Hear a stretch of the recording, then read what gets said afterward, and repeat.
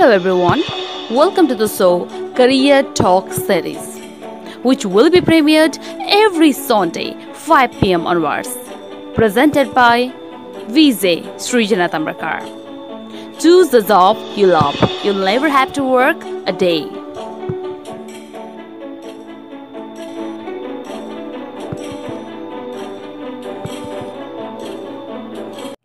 Hello and namaste everyone. This is Srijana Tamrakar and welcome back to my channel well हामी career talk with सृजनाको यो video सिरिजमा फेरि पनि अर्को नयाँ भिडियो लिएर तपाईँहरूको सामु आइसकेको छु म सृजना ताम्रकार र अफकोर्स एउटा करियर सिरिज भन्ने बित्तिकै नेपालको रिलेटेड चाहिँ मैले करियर सिरिजहरू बनाइरहेको छु नेपालमा थुप्रै जुन सब्जेक्टहरू पढाइ भइरहेका हुन्छन् ती सब्जेक्टको स्कोप के छ करियर प्रोस्पेक्ट्स के छ नेपालमा? बसेर हामीले के कस्तो जब अपर्च्युनिटिजहरू गर्न सक्छौँ भन्ने बारेमा चाहिँ मैले स्पेसल यो भिडियोजहरू सिरिजहरू चाहिँ बनाइरहेको छु। I hope it will be beneficial for you all किनकि सबैजना स्टुडेन्ट्स लाइफको स्टुडेन्ट्सको लाइफमा यो पार्ट रहेको छ। आफूले पढिसकेपछि त्यो पढिसकेपछि चाहिँ त्यो सर्टिफिकेटको त्यो पर्टिकुलर सब्जेक्टको भ्यालु के छ त? तपाईँले के कस्तो जब अपर्च्युनिटी पाउन सक्नुहुन्छ त भन्ने कुरामा चाहिँ एकदमै हाम्रो फोकस रहेको हुन्छ। So I think it will be very beneficial for you all and don't forget to like subscribe and share my channel to persistal creations well हामी विभिन्न विधामा रहेर कुराकानी गर्नेछौँ।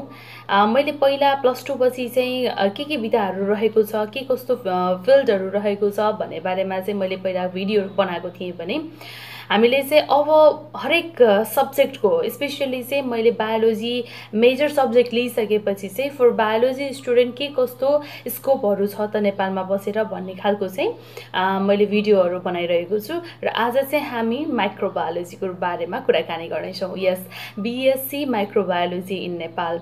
हुन त म आफै पनि बिएससी माइक्रोबायोलोजी ग्रेजुएट होइन? बट यस्तो छ बिएससी माइक्रोबायोलोजी ग्रेजुएट भन्ने बित्तिकै धेरै धेरै सपनाहरू आउँछ होइन? किनकि अहिले धेरै कुराहरू पढ्नु परिरहेको हुन्छ मेडिकल सेक्टरदेखि लिएर environmental sector agriculture sector pharmaceutical sector सबै कुराहरू पढ्नुपर्छ र धेरै सपना हुन्छ। बट नेपालको कन्टेक्स्टमा साँच्चै भन्नुपर्दाखेरि स्कोप छैन। त्यो कारणले गर्दाखेरि धेरै कुराहरूले चाहिँ इम्प्याक्ट परिरहेको हुन्छ। म आफै पनि एकपल्ट त यस्तो फ्रस्ट्रेसन परेको थियो कि I was just searching and searching about it all होइन के रहेछ त? अब म बिएससी चाहिँ ग्रेजुएट हुने हुने बेलातिर चाहिँ म एकदमै धेरै प्यानिक भएको थिएँ द्याट माइक्रोबायोलोजी त मैले पढेँ तर अब चाहिँ के गर्ने त? केही छैन अप्सन सबैले करियर अप्सनै छैन भनेर भन्नुहुन्छ भनेर मैले धेरैजनासँग सोधेको पनि थिएँ होइन? के छ त करियर प्रोस्पेक्ट्स अब माइक्रोबायोलोजी मैले पढेको छु मैले के जब गर्न पाउँछु भन्दाखेरि सबैको एन्सर किन पढेको भन्ने हुन्थ्यो होइन? सबैको क्वेसन उल्टै क्वेसन हुन्थ्यो किन पढ्यो तिमीले बिएससी माइक्रोबायोलोजी भन्ने कुरा आउँथ्यो। So besides that I think त्यो बेलामा एकदमै धेरै रिसर्च गरेँ मैले होइन। के गर्न मिल्छ त बिएससी माइक्रोबायोलोजीमा के चाहिँ गर्न मिल्छ? बिएससी माइक्रोबायोलोजी कि मेरो फिल्ड हो कि म अरूको फिल्डमा जाँदा पनि हुन्छ कि? या बिएससी माइक्रोबायोलोजीलाई चाहिँ फर्दर कन्टिन्यू गर्दै एमएससी गर्ने हो कि? सो यो क्वेसनहरू मनमा तनाव तनाव हुँदा हुँदै धेरै रिसर्चहरू गरेँ and I think that research is now beneficial for you किनकि त्यो रिसर्च नै अहिले चाहिँ तपाईँहरूलाई मैले सेयर गर्न गइरहेको छु। मैले के के बारेमा रिसर्च गरेँ भनेर धेरै कुराहरूको रिसर्च रहेको थियो। जबकोदेखि लिएर कलेजहरूदेखि लिएर मास्टर्स पढ्दाखेरि के के पढ्नुपर्छ त्यो सबै कुराहरूको चाहिँ रहेको थियो। So I think this video will be much beneficial for you all of the students who are studying or who are who want just pursue their further studies in BSc microbiology or MSc microbiology so नेपालमै बसेर पढ्ने सोच हुनु गर्नुभएको छ भने चाहिँ एकदमै पहिले फोकस भएर आफू कुनतिर जाने हो भन्ने कुरा चाहिँ एकदमै फोकस भएर पढ्नु होला। स्पेसली माइक्रोबायोलोजीको फिल्डमा किनकि माइक्रोबायोलोजीको भन्नै पर्दाखेरि चाहिँ स्कोप एकदमै कम छ बट नभएको होइन। धेरैजनाले माइक्रोबायोलोजीको फिल्डमा रहेर थुप्रै राम्रो राम्रो जब अपर्च्युनिटिजहरू पाइराख्नु भएको छ। सो मैले यहाँ भिडियो प्रेजेन्टेसन गरिरहेको छु। सब्जेक्ट रहेको छ हाम्रो BSc microbiology in Nepal well microbiology भनेको चाहिँ के हो त? फर्स्टमा म तपाईँहरूलाई त्यो कुरा भन्न चाहन्छु। माइक्रोबायोलोजी चाहिँ एउटा ब्रान्च अफ साइन्स हो होइन? जुन चाहिँ विभिन्न विधाहरूलाई चाहिँ इन्क्लुड गरिरहेको हुन्छ। अब यसमा चाहिँ हामीले ब्याक्टेरिया भाइरस प्रोटोजोवा र फङ्गाईलाई चाहिँ हामीले मेनली चाहिँ स्टडी गर्छौँ होइन? यसलाई चाहिँ हामीले स्पेसली सेलुलर लेभलमा चाहिँ स्टडी गर्ने सबै जति पनि माइक्रो अर्ग्यानिजम्सहरू हुन्छ त्यसलाई चाहिँ हामीले सेलुलर लेभलमा चाहिँ स्टडी गरिरहेका हुन्छौँ। So this is about the microbiology microbiology भनेको के हो त भन्ने कुरा चाहिँ यो रहेको छ। र अब माइक्रोबायोलोजी हामी कहाँ कहाँ पढ्न सक्छौँ के के छ? कतिवटा कलेजेसहरू छ होइन? अब थुप्रै कलेज छ हरेक नेपालभरि नै कलेजहरू छ जसले चाहिँ यो माइक्रोबायोलोजी कोर्सहरू अफर गरिरहेको हुन्छ। सो मैले चाहिँ यहाँ टियु एफिलिएटेड कोर्सहरू चाहिँ टियु एफिलिएटेड कलेजहरू चाहिँ मैले यहाँ लिस्ट आउट गरेको छु। सो फर्स्टमा रहेको छ गोल्डन गेट कलेज काठमाडौँमा रहेको छ। अर्को छ पृथ्वीनारायण मल्टिपल क्याम्पस पोखराको। त्यस्तै Trichandra multiple campus काठमाडौँकै another is Siddhartha Siddhanath science campus Mahendranagar यो चाहिँ पश्चिममा रहेको छ. र अर्को छ Amrit science campus Lainchaur Kathmandu Birendra multiple campus Chitwan Sunsari technical college त्यस्तै गरी त्यस्तै गरी सेन्ट्रल क्याम्पस अफ टेक्नोलोजी रहेको छ बालकुमारी कलेज नारायणगढ र सेन्ट सेन्ट जेभर्स कलेज रहेको छ।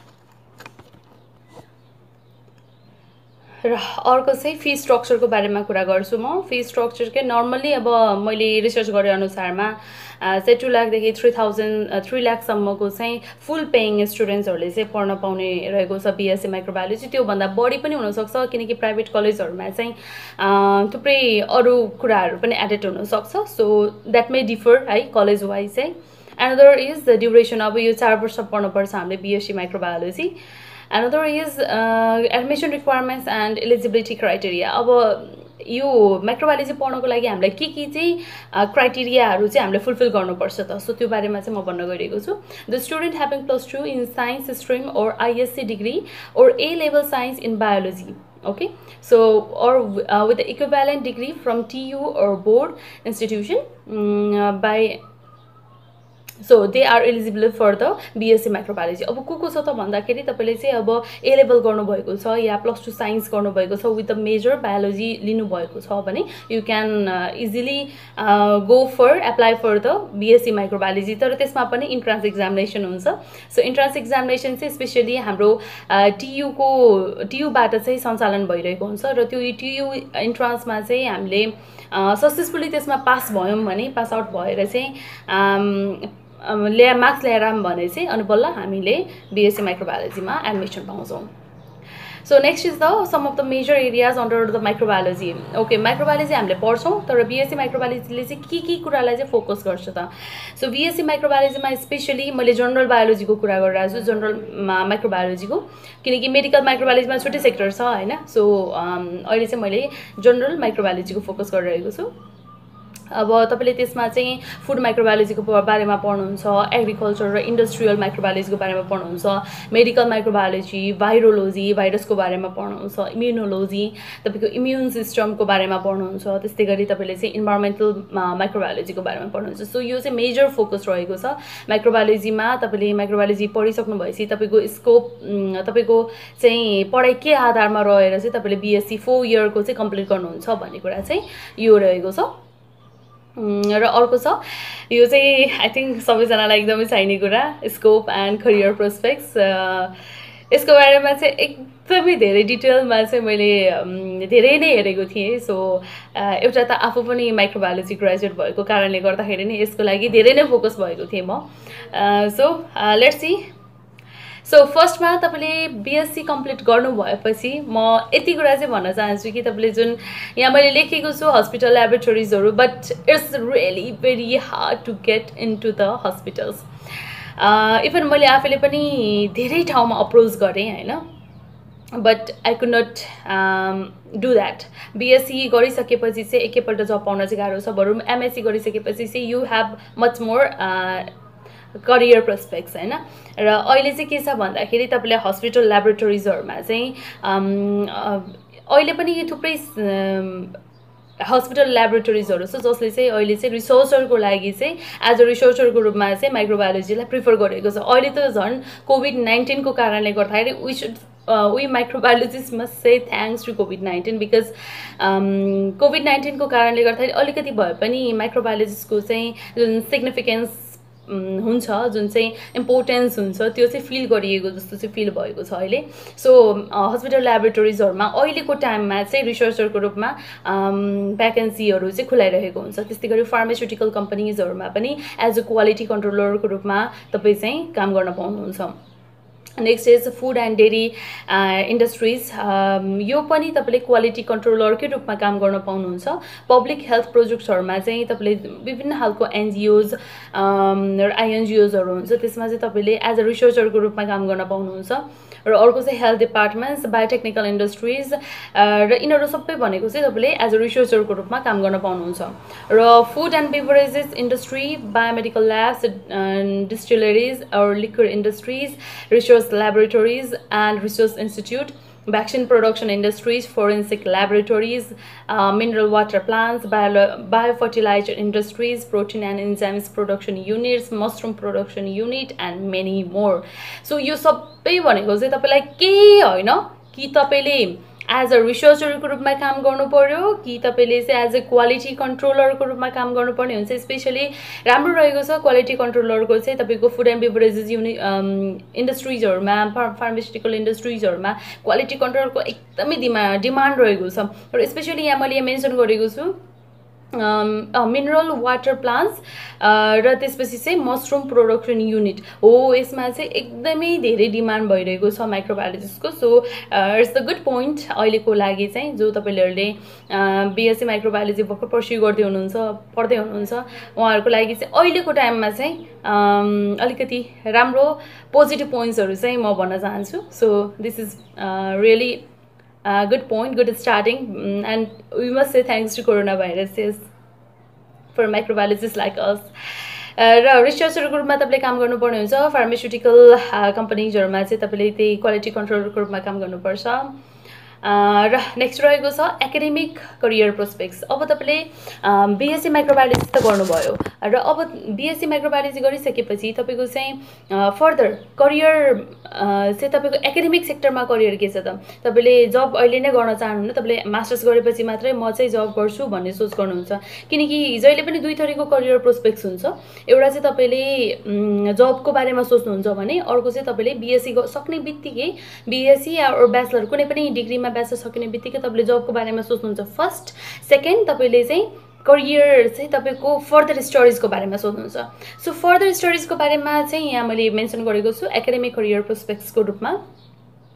सो जसले चाहिँ बिएससी माइक्रोबायोलोजी गर्नुभएको छ they can directly apply for the MSc microbiology or the applied microbiology like अब एप्लाइड माइक्रोबायोलोजीमा चाहिँ के के छ भन्दाखेरि मेडिकल माइक्रोबायोलोजी छ food microbiology industrial microbiology bio informatics microbial technology clinical research अनि मोलिकुलर बायोलोजी त्यस्तै गरी बायो केमिस्ट्री फोरेन्सिक साइन्स त्यस्तै गरी हस्पिटल म्यानेजमेन्ट रहेको छ। सो मेडिकल माइक्रोबायोलोजी चाहिँ नर्मली एकदमै राम्रो रहेको छ। अर्को पनि रहेको छ यसमा क्लिनिकल माइक्रोबायोलोजी रहेको छ। क्लिनिकल माइक्रोबायोलोजी चाहिँ जुन रिसर्च गर्दाखेरि मैले पत्ता लागेको कुरा है सो क्लिनिकल माइक्रोबायोलोजीमा चाहिँ छिर्नको लागि एकदमै गाह्रो हुने रहेछ। त्यसमा चाहिँ एमबिबिएस जुन गर्नुभएको जुन स्टुडेन्ट्सहरू हुनुहुन्छ स्पेसली उहाँहरूले चाहिँ क्लिनिकल माइक्रोबायोलोजी गर्नुहुँदो रहेछ।